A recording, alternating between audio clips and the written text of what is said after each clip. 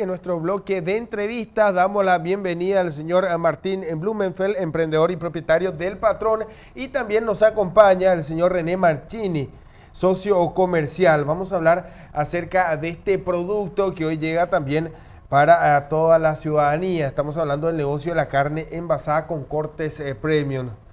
Y ya vamos a tener todos los detalles en esta entrevista. Martín, ¿cómo estás? Gracias por venir. Dale, muchas gracias. Eh, René, ¿cómo ¿Qué estás? tal?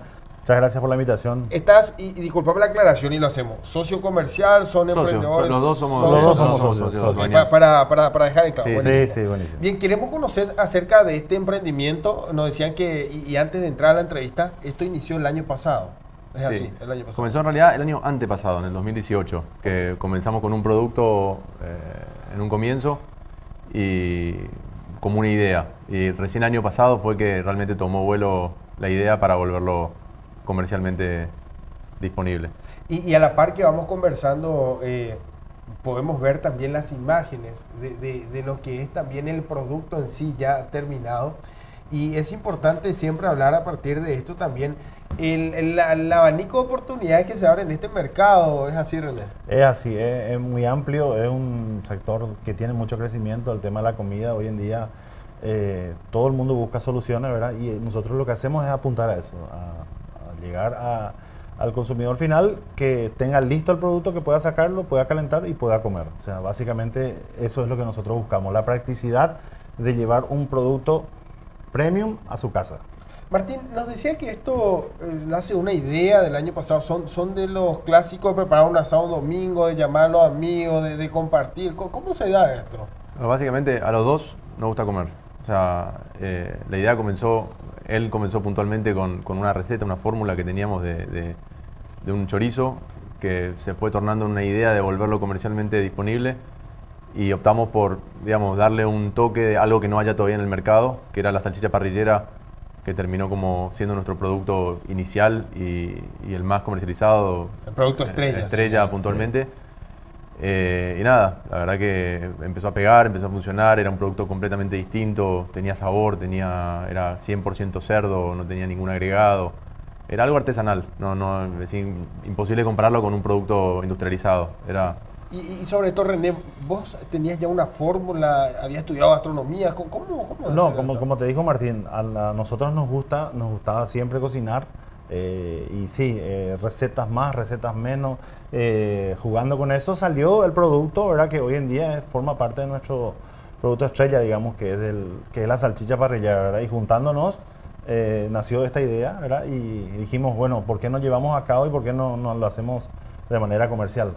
Y siempre tenemos en cuenta el- en lo que hace a la experiencia de, de personas que eh, buscan emprender y que encuentran un nicho de mercado que Sí. decimos, bueno, en realidad eh, siempre es importante eh, contar con un corte premium y por sobre todo que nos permita llevar a la mesa ya un producto en menor tiempo, por- Claro. porque hablamos siempre que todo el mundo estamos eh, con, con- con premura, ¿no? Y, y todo el mundo estamos apurados, ¿verdad? Entonces, nada, básicamente como te digo, eh, la idea es que vos llegues a tu casa, saques del freezer cualquiera de los productos que tenemos precocinados y que tenemos también listos, congelados, se, se- en 20 minutos, siguiendo una, unas mínimas instrucciones, vos estás comiendo una cosa ya eh, bien hecha, ¿verdad? Eh, Martín, estamos viendo en imágenes Sí. que no solamente hablamos de, de cortes de carne, sino que ya vamos también al agregado de una parrilla. Siempre hablamos también de que hace falta, o, o es infaltable, mejor dicho, la, la sopa paraguaya y otros agregados que se le pueda dar. Sí. De hecho, eh, ahí en la foto que están viendo, nosotros tenemos justamente por qué comenzó este año, el año pasado, realmente eh, todo lo que estamos ofreciendo. Básicamente teníamos, nos llegaron unas máquinas que nos permitían precocinar los cortes, que es justamente lo que decía René, que eh, queremos brindar una solución rápida a la gente para, para comer. Y es lo que nos permitiera, por ejemplo, cortes como la costilla de cerdo, que son los barbecue ribs que tenemos, que se dan una precocción de 12 horas. Entonces la persona lo puede sacar del freezer y en 15 minutos lo, tiene, lo puede cocinar a la, a la parrilla, al horno. Esta, por ejemplo, la costilla vacuna, tiene 18 horas de precocción. Es, eh, digamos, no tratamos de matar la tradición de hacer el asado, sino que darle facilidad a que puedan comer un corte que sea una manteca por ahí, sin necesidad de tener que estar 4 horas en la parrilla cocinándolo. O sea, Todos los productos son precocinados. No, no todos. Parte de los productos que tenemos eh, son precocinados, pero la mayoría son productos que en 15, 20 minutos están cocinados. O sea, Eh, No, no hablas de, de- de una máquina. ¿Cómo hacen esto? Eh, para tener una idea de lo que implica poder tener un producto de esta calidad y este tipo. son, o sea, no, no, la máquina en sí son unos tanques que permiten la cocción al vacío Ah, de los cortes.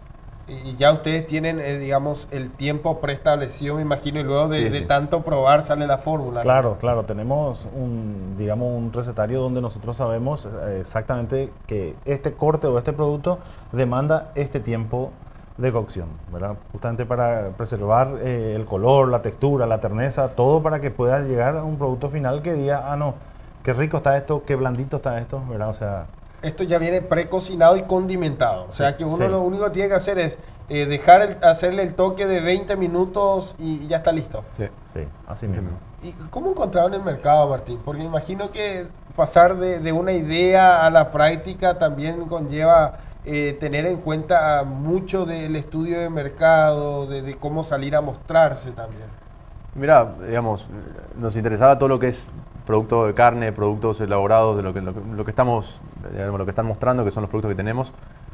Y entrar a competir a nosotros con, con- a vender costilla o a vender los productos que ya venden empresas frigoríficas grandes es muy difícil. Por eso que nos enfocamos a, bueno, qué podemos elaborar con esos mismos productos, pero que ya sea, que tenga un agregado. Entonces, eh, empezamos a desarrollar, empezamos a pensar y nada, sacamos los productos, estamos sacando, todos los meses estamos sacando algo distinto eh, puntualmente y es nada más un tema de, que nos gusta cocinar, comer rico y queremos lo mismo, pero buscando la, la facilidad a la gente de que no pierda su tiempo cocinando.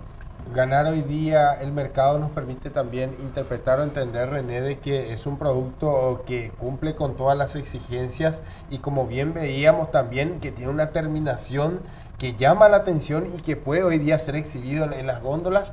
¿Y, en, qué puntos? ¿Están en puntos de venta? ¿Ya están en supermercados? Eh, Tal cual, así mismo como decís, eh, nosotros cuidamos mucho todos los detalles, ¿verdad? Desde el, proceso de la elaboración hasta el empaquetado, hasta, digamos, respetando la cadena de frío. Y sí, hoy estamos ya en varios puntos de, venta, inclusive masivos, ¿verdad? Estamos en todos los BIS, estamos en Casa Rica, estamos en Super 6, estamos abarcando, estamos entrando en el mercado comercial. la, la aceptación del mercado les permite ya tener una idea, una proyección un poco más clara ya para este 2020. Y sí, cuando transcurre el tiempo uno se da cuenta más o menos dónde está parado, ¿verdad? Eh, pero sí, no- nos da una idea para saber dónde, a dónde apuntar y básicamente queremos estar en todos los lugares y ser, eh, o sea, estar al alcance del consumidor final, ¿verdad? Que, que tenga mano.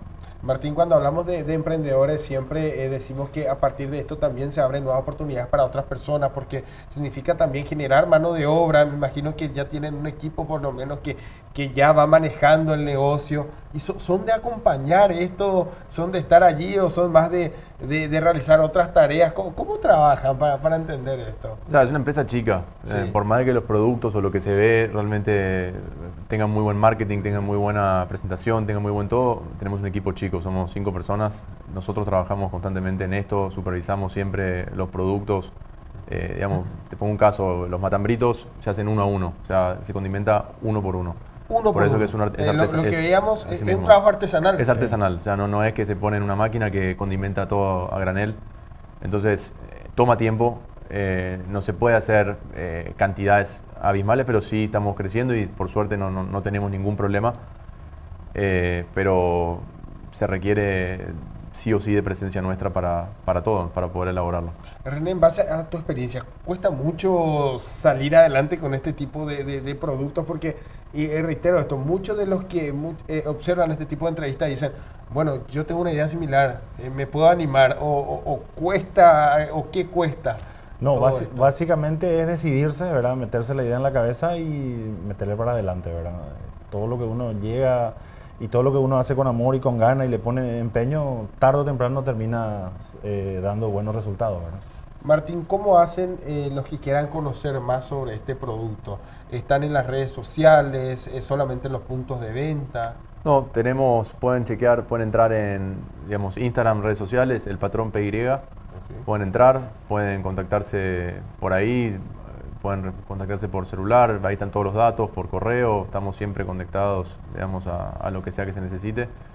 Eh, sí, si hay un evento, por ejemplo, que, que imagino ya se trataría de un pedido especial, entre comillas, que lleva un poquito más de tiempo, entonces también lo pueden hacer.